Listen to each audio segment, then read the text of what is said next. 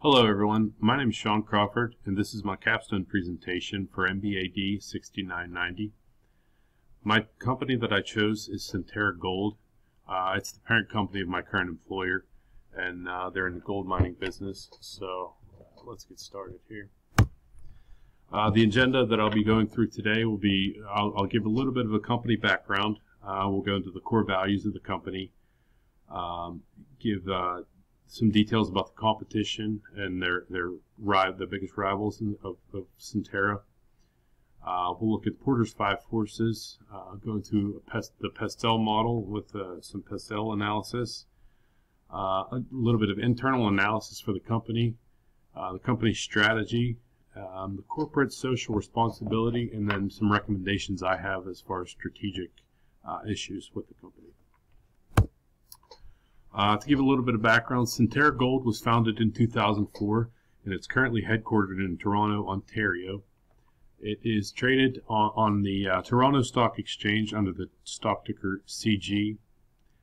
Uh, it, it, recently increased its revenues to 1.2 billion dollars uh, with some with some um, newer acquisitions of, of other gold mining companies that that it recently took over. Um, it does have two operational gold and copper sites. One in British Columbia, named the Mount Milligan mine. The other in the other in the Issyk Kul region of Kyrgyzstan in Central Asia, which is known as the Kumtor mine. It also has several developmental properties, uh, such as the Kemess Underground project in British Columbia, Canada, um, the Öksüt Gold project in Turkey, and a 50-50 partnership with with uh, with the Greenstone Mine project in Ontario.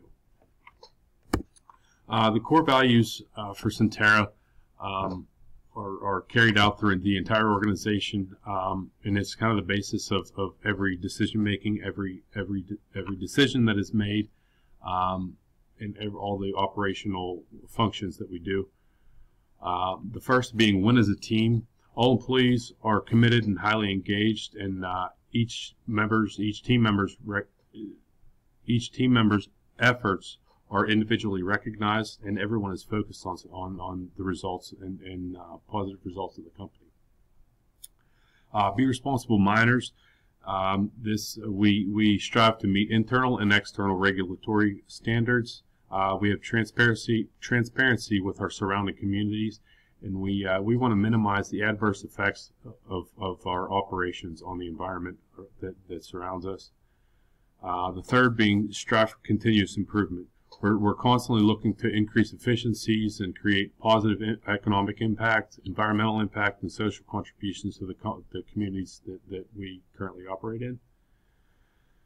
Uh, and the final uh, core value will be deliver results. Now we strive for safety, operational excellence, and accountability in everything, in all of our operations. And our actions are actions are ethical, environmentally conscious, and safety minded with regards to maximizing our shareholder value. Uh, some competition that uh, that Centerra um, has in the gold mining industry. Uh, Galani Gold, which is which is also headquartered in, in Toronto, Ontario, this is Centerra's biggest rival. And it also, it, just like Centerra, it has a growth strategy through acquisitions and uh, increasing efficiencies of, of, its, of its operational mining sites. Osisko is, uh, is another mining company based in Montreal, Quebec. Um, and it's really focused on mining royalties. And it's in Osisko's cash position is a lot like Centerra's. And, and uh, and that its cash, cash position as of end of 2018 was at 157 million, where Centerra's is just is just just above 150. Uh, finally, the the the third competitor is Shasta Gold Corporation, which uh, it's a privately owned corporation and has mine sites in Nevada and Northern California. It has a bit of a smaller revenue stream just because these these sites that it does run are um, are in the developmental stage. Uh, so they're not fully operational yet, but uh, in, in, the next several years they, they, should be coming online. We'll get into uh, Porter's and Porter's five forces and, and, of the industry analysis of the gold mining company or corporate or industry.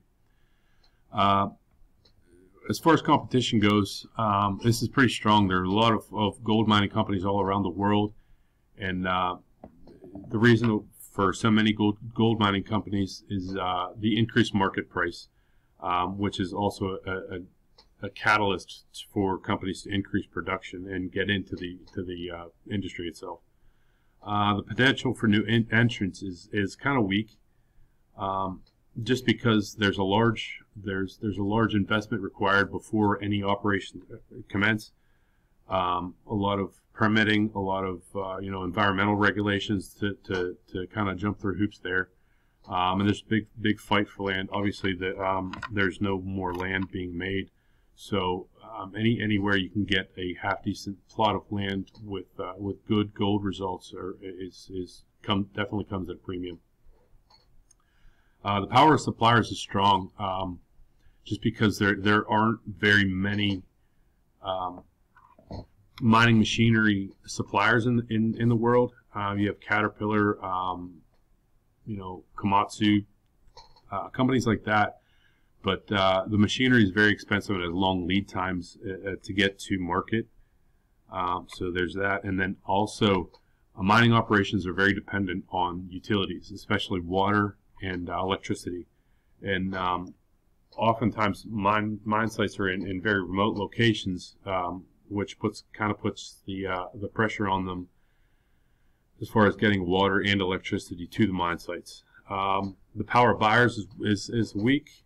Um, with the gold gold supply, gold the the uh, the annual demand far exceeds the the uh, production possibilities of all of the uh, gold mining companies in the world. So therefore, uh, there's a gap between the supply and demand, which um, uh, which kind of leads to the increased market prices and the in the sustainability of the high high gold prices. Um, and finally, uh, substitute products is strong, with with gold uh, with jewelry being the biggest gold user, which is which is about 50% of all gold production goes into jewel, making jewelry. Uh, there are substitutes for that, such as uh, you know sterling silver, platinum, and other precious metals and gems. Um, and technology is another big user of gold. Um, but again, there are other options as far as silver and, and copper with its conductivity uh, uh, properties of, of those two. Uh, more more on the industry analysis, uh, a little bit of a Pestel analysis here. Um, political, from a political background, uh, Centerra is owned. The, the majority of Centerra sh shares are owned by the the Kyrgyzstan government, and they, so they have a strong influence because the Kyrgyz, the, the Kumtor mine in Kyrgyzstan is is the um, highest contributor of the GDP in the country. So therefore, the the uh, the Kyrgyz the, the Kyrgyz Republic has has a very high interest in the mine and in the company as well. Um, as far as a social or uh, economic, I'm sorry, economic uh, viewpoint, the demand for, for gold is much is much higher than the supply. So prices uh, tend to stay elevated, and they've been consistently above $1,200 per troy ounce uh, for quite some time. Um, different demographic, or, or for the social, for the social aspect of the Pestel model, different demographics in different areas cause some problems. Um, as far as you know, the, the, the, labor force and, and not as much access to skilled mining professionals as as um, Centerra would like to see. Uh, for technological, uh, there this this is becoming increasingly popular in the gold mining industry with uh, remote control and GPS controlled um, haul trucks. This is a big safety issue, and, and with the increased technology in these trucks, we can increase safety and decrease the, the possibility for accidents. The environmental aspect is probably the biggest for the for the uh, gold gold mining industry. Um, a lot of of um, regulations, a lot of, of um, you know permitting and things like that. Uh, water and discharge, water usage and discharging permits are, are very highly regulated in the, in the industry, as well as reclamation for plans for post mining operations. Once the mine is done, um, all mines have to have a, a, a, reclamation plan in place in order for to reclaim that land uh, back to its original state. And finally, legal. Uh, legal, uh, the, the company deals with MSHA a lot, which is the mining version of, of OSHA. and different companies have different permitting permits and, and, and mining requirements. Uh, and again, putting a damper on on um, on the company to to kind of abide by these laws. Internal analysis: uh, the strengths of the company, um, obviously the market price, uh, supply um, is is much less than demand, so therefore the, the, the gold production forecast is is high.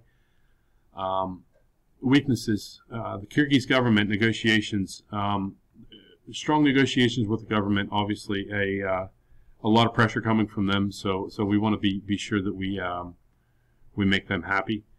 Um, and also water sourcing problems at the at the Mount Milligan mine. Opportunities. There's uh, Centerra has a cash surplus of 152 million uh, and 641 million in, in liquidity value, which which uh, gives a great great um, opportunity for for future investment. Um, and the gold recovery um, methods for the company can be increased to uh, to minimize water usage, such as amalgamation with mercury, to recover the, the, the gold out of out of the, the pay dirt. Um, threats to the company the biggest threat is is obviously the market price. With unknown with unknown uh, fluctuations in the market price it's difficult to, to forecast cash flows. Um, and you know there's no market power due to Centerra's small size relative to the to the industry. Centerra also uh, implements a growth strategy. Um, acquisitions uh, to increase its diverse, diversified portfolio. It recently had um, some new acquisitions, uh, the Thompson Creek Metals Company and AuRico Metals. Uh, both have some uh, late-stage um, mines that, that are, are, very attractive to Centerra, so they, they wanted to kind of invest in, in a few new development projects and, and uh, in, increase cash flows and, and revenues. Um, again, same, same thing with Com the Kemess project, the Öksüt project, and the Greenstone project. Uh, these are all developmental project or properties um, with with high hopes of future um, production. Organizational structure: We have a multi-divisional organization um, which sites operate kind of in their own unique ways.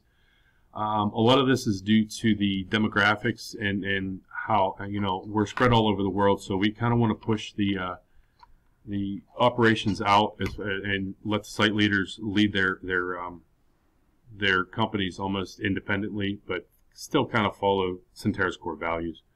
Uh, Scott Perry, our CEO, is a strong proponent for this, um, and he he has uh, just over 20 years experience in, in the mining industry. He was actually a former CFO at AuRico Gold, which is a newly acquired company from by Centerra.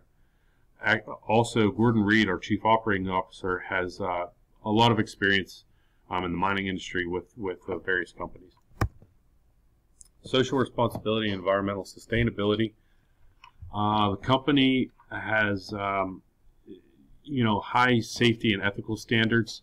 Um, we have we have uh, very strong employee safety programs, environmental monitoring for things like water discharge, um, and safe and clean discharge of water and air air pollution back into the atmosphere.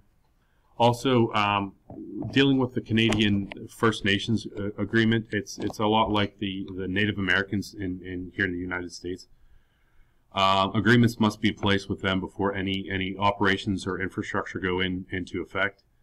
Um, and also the the um, the First Nations residents are, are given you know employment opportunities by the company. Um, we also do uh, a lot of community fundraisers and donations for local agencies such as fire departments, you know, police departments, uh, things like that. So a lot of giving back to the community. Finally, my recommendations for the company. Um, with the with the cash the, the cash balance that it has, um, 152 million dollars is is, uh, is is pretty nice as far as you you know a growth growth strategy.